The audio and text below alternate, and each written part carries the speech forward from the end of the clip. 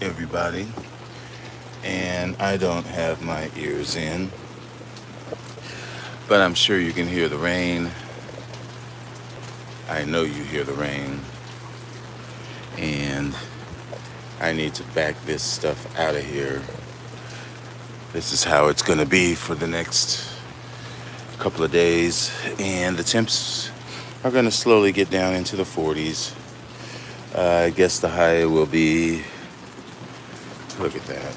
The high is going to be about, it'll be still be in the 60s, but the low for a couple of those nights are going to be in the 40s, low 40s, in fact. And that really is very close, especially the fact that we're getting this rain. Now, yeah, I was going to say the night that we're actually getting the rain, and the night that it's going to actually be 40, 41 specifically, it's a dry night. But I don't even want to say that because all of the nights and days around that one dry night, it's going to be very rainy. Hey there, I know I am being sort of a, I don't know what I'm doing. I'm just uh, clowning around out here, really. No, I'm not. I really am in the process of moving a lot of my things inside. And why the heck I have these?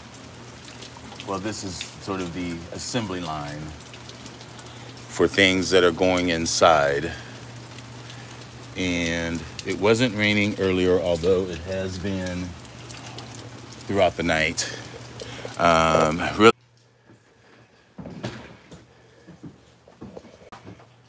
and so, of course, I was on the phone, got a call.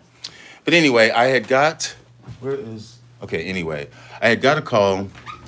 I, I actually had ordered a dendrobium that I thought was a latouria.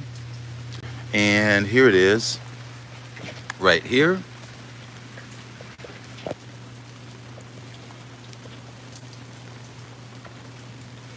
I thought I was getting atrial but the tag here says atrial. I don't know what atrial is. No idea. But when I go in here and look on my computer at this is how I do my research.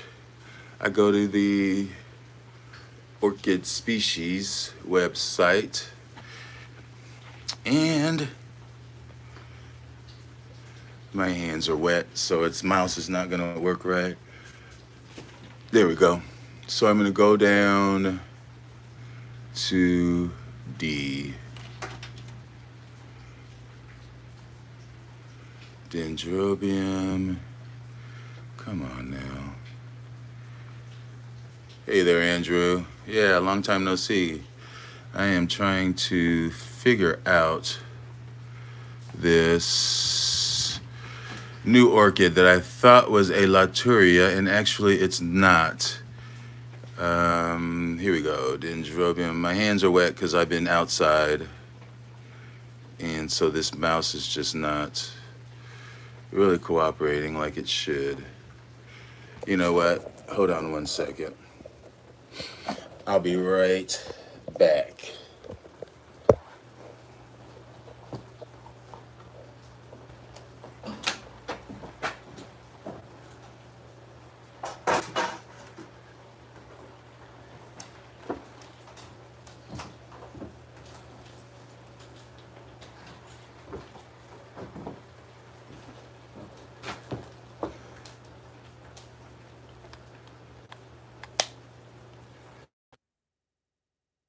Okay, ask me that again. Something about the scale. You're talking about the scale operation. Well, that's what I've been using pretty much the whole summer is uh, that technique. Just because it's less invasive, I I don't like to use chemicals if I don't have to. And I'm going to look up this Atropurpureum because I thought it was a Latouria. But when I look it up,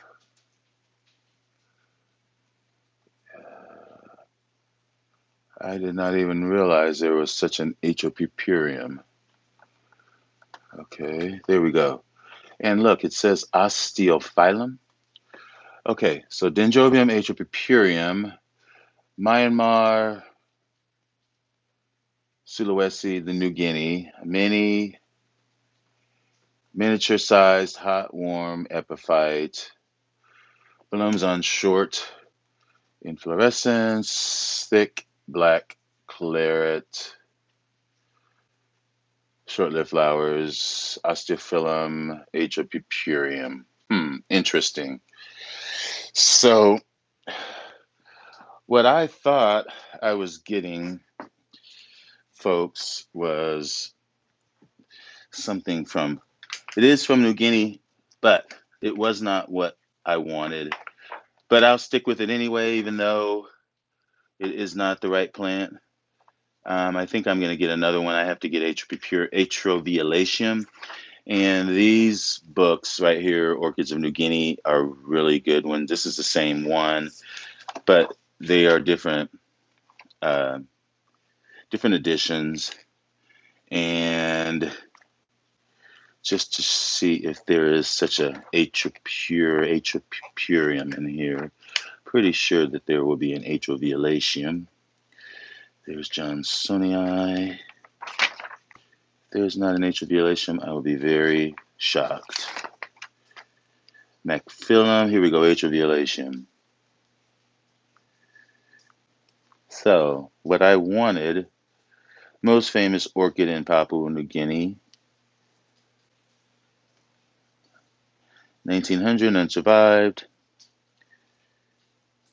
Grows as an epiphyte. Pseudobulbs are narrow at the base, widening in a club shape above. Inflorescence about 20 centimeters. They are fragrant, heavy textured, very long lasting. Flowers face downwards. And, you know, I'm not even sure if that other flower is even in here because it would be. This is Papua New Guinea. Let me look just back here. Atro. I'm pretty sure it's not. Dendrobium. Atrovulation. No, it's not. Let me look in this one just for measure. Because these definitely have different different orchids in them, although the same kind of general. Okay, so Dendrobium. And there is no atro, whatever I'm working with here. So let's run outside real quick and take another look at this. So I have it sitting in water. This says Atropurpureum. And flowers are kind of hanging, pointing downwards. I mean, it definitely looks like a Latouria with those spots. Although it is a little bit more of a white flower than typical Latouria, and that actually may be the difference. Tetraviolatium is more chartreuse. And so that might actually be the difference. But yeah, I have plants that are lined up that way going into the greenhouse. Um, that way slowly moving. You can see I've got cattleyas over here, and I've got these are the ones that I've moved from the chair up here. Some of these are epidendrums, but dendrobiums. Um, this is, of course, that's uh, Silver King. This is my Dendrobium, Dendrobium that could possibly be spiking. That is my Spectabile Ari. Uh, well, I'm certainly in the rain. Yeah, here I am. The water now. It doesn't really need to be sitting in here. It sits way high up here. but I should have left it down because looking at some of the new growths, and I think it might actually spiking. There's new growth happening. So I'll keep you posted on all of that as well. Um, but yeah, some of these have just finished blooming. This is my Baptia grape wax that I'm going to slowly move into the greenhouse. Um, it does have a, this new growth forming, so that's good. And where is that other? Somewhere. Oh, I put it down here, which is risking it right here. That's my, that has that sheath that's filling up. So risking leaving those out here, honestly. But other than that, really, things are okay. The temperatures are decent. My recent repots of those angraecums look still pre- look pretty good, and I know they're enjoying this water. There's that Gongora. That's grossa, Gongora grossa. Bet that's liking all of this water. And as is, I bet this my new Scuticaria right here that I just mounted. In the past, when I've grown these, literally the leaves, one of the leaves have fallen off. Not so quickly, but especially the ones from Ecuagenera, but it's still on the plant. So that's a good thing. And something else that is good is I never talk about this, but this is my ligophyllum. And this probably needs to go inside as well because when this plant stops its growths, which I believe it has reached its terminal growth at the top, then they like a little bit of a rest and then they do bloom. But they do like that rest, not a full on dry rest, but just a lessening of water. But that's what I found that they need in order for them to bloom. Uh, they usually bloom in the spring, and that still is just wonderful. Wunderbar. Here's my uh, crazy arachno that I am still waiting to see roots and maybe some growths. There's those buds there. It's my perenniae.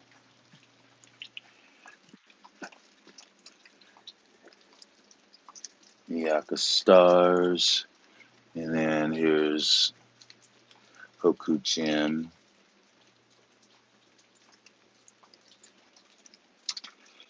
Yep. Oh, this is something really, really good.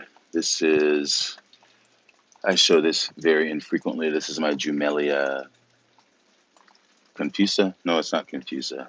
It's uh. Well, it, this was already in, I had put it in this. This was an import from Madagascar. And this was one of the first ones that I got to actually survive and you can see the little babies that are coming up. Well, I have I had put this desiccated. It was desiccated at the time. This piece of angraecum. Um, I believe it's infundib. No, it's Birrimense. I believe that's what it is. And it was very desiccated. And I'm not sure what that nubbin is. It could be a new root, but there's a root there, and it's just clipped to the side of that basket, bare root. So when this goes inside, that will be hitchhiking along. You can see it's just hanging there, but it is alive and well and it has fattened up and doing great. I think this is going to be a survivor as well. This is my Angraecum florenculum, which the rest of the plant was a goner this summer. probably because it was getting too much light. But this one piece over here is still putting out growth. It's still pretty healthy. Hopefully it will put out roots. This is my Comorense, which is Jumellea. It actually had bloomed already earlier, and this is my Aeranthes ramosa that has nice roots and it's just in straight sphagnum and that has a reservoir in it that keeps it moist. These love water. So anywho what are the comments? Hey there tracy. So that's pretty much the deal as i was saying. Um, like I was saying, this is the lineup to go in. Uh, I really I moved this from the fence because you can see how the leaves are browning there. And this is the only one. I mean, there's that little baby down there. This is my Epidendrum nocturnum. And also these Brassavola uh, species just don't look so well because of all this water. Um, but this, my Angraecum here's the species here is still doing good. There is a bloom forming. You can see the the little spur coming out the back. And then there's another inflorescence there. I showed this on my video already this morning. There's a couple more spikes here. And I know there's one down at the base. So, and this is something else that needs to get in there. This is a Sunny Delight. And, but they're okay for now. Here's my Coelogyne multiflora, which gave me these two new growths. No blooms, unfortunately. You can see how that's not liking the rain. Um, so yeah, I think this is going to bloom for me from one of these canes. It's either that one, I think it's this one.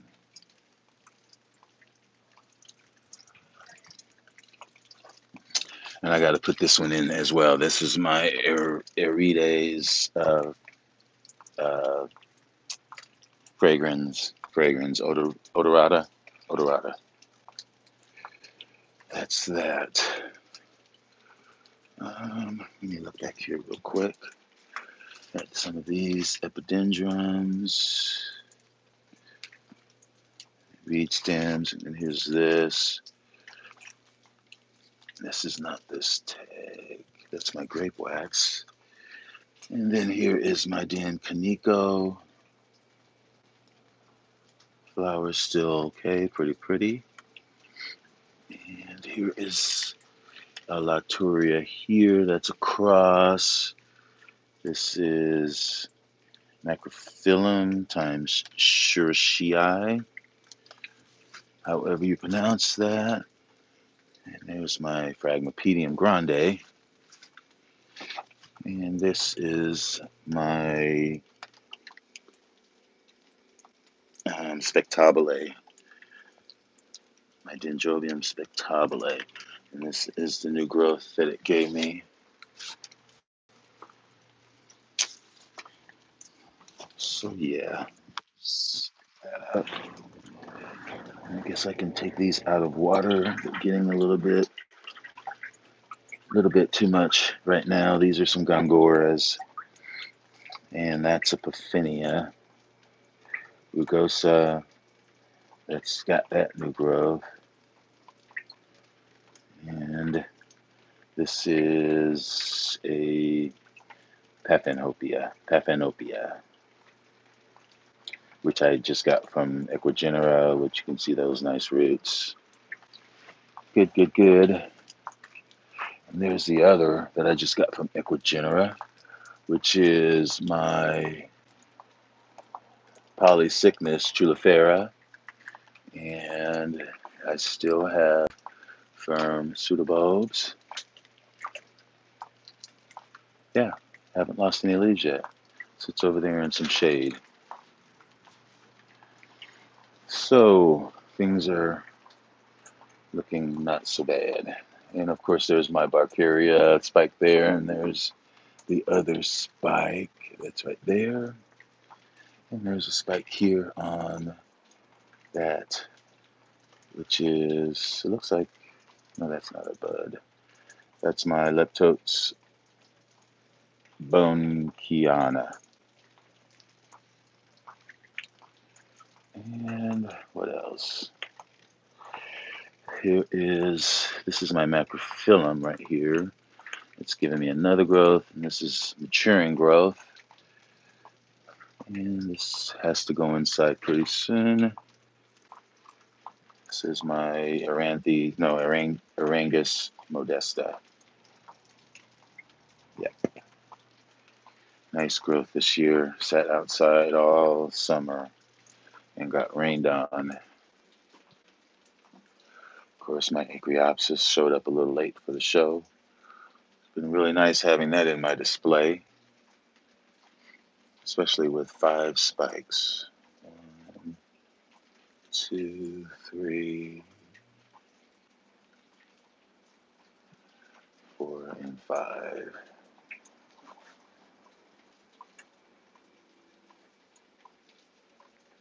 So, anywho, there's a spent little flagellaris bloom. But yeah, I'm just going to keep moving plants towards the greenhouse. Some of these will have to go, but a lot of these in here will have to wait until, um, you know, I get up some benches. So here's another den that's doing really well that I mounted on that twig that I bought back from um, the rainforest, lake uh, it's out in the Pacific Northwest, and it was bare root, and it the roots have attached itself on that mountain. It's given me some nice growths. You can see those roots in there and the growth. This is a deciduous. I don't think it's a Latouria though. So, anyway, that's about it. Although I'm really loving, loving, loving these growths on my Coilostylis parkinsonianum that are really nice and healthy. And there's that growth, and there's that Coilostylis up there, and there's this one. So, nice root on that Trichocentrum. So, yeah, there's that other Trichocentrum. That's my stacyi up here, enjoying the moisture. You can see those roots. And the growths. These are the new growths. One, two, and here's three.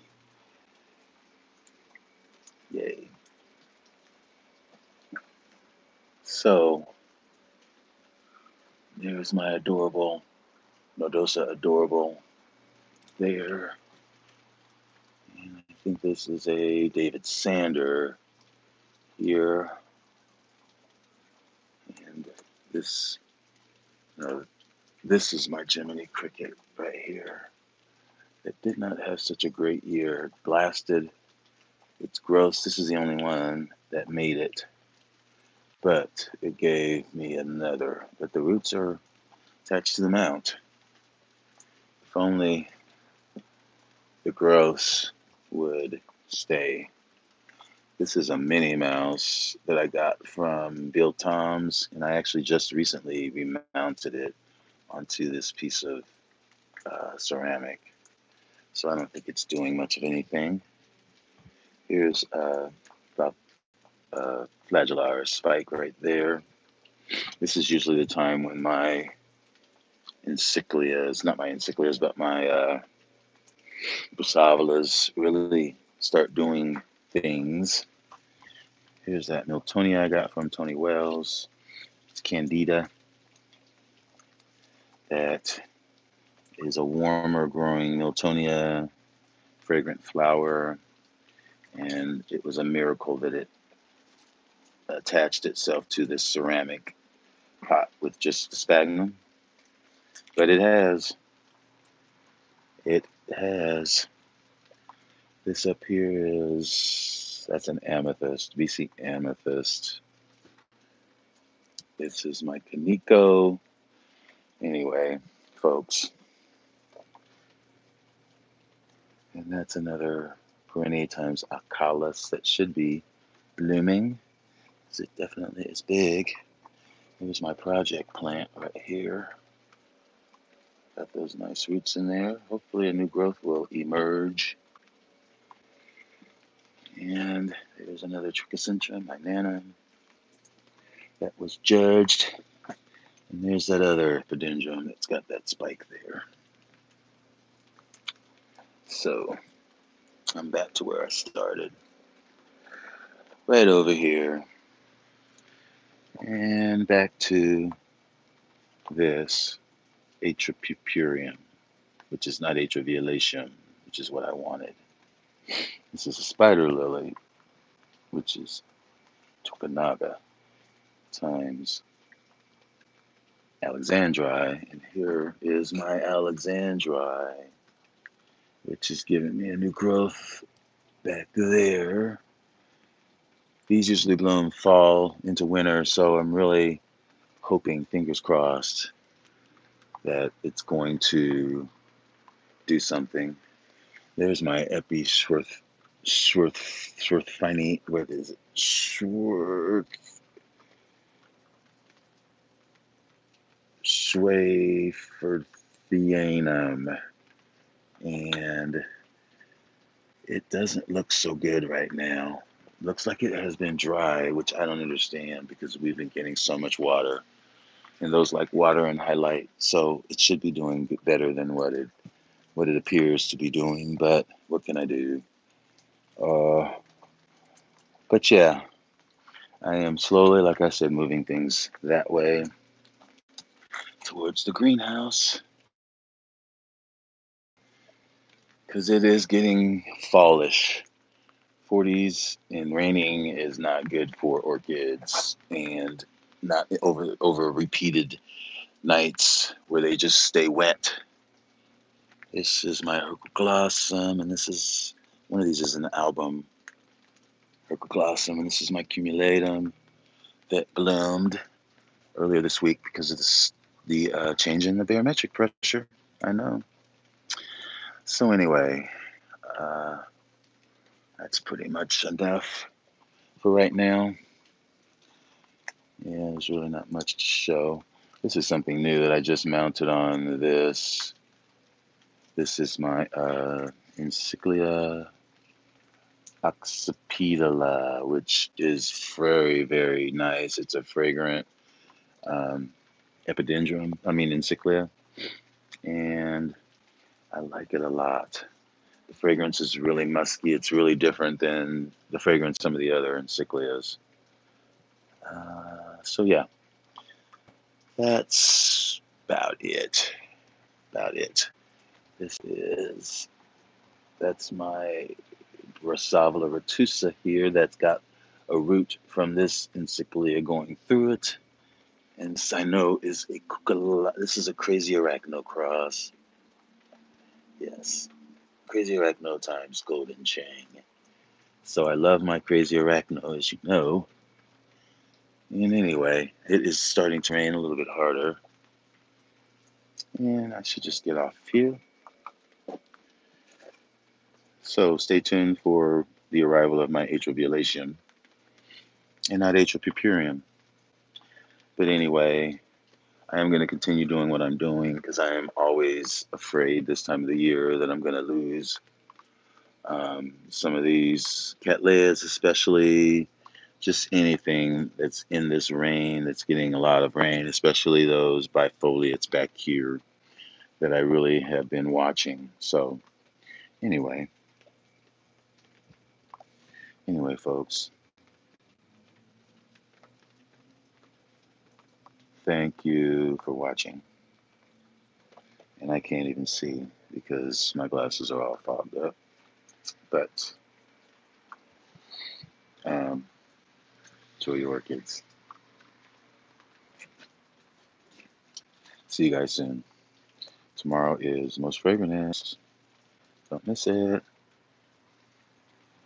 Now I'm all foggy. Okay.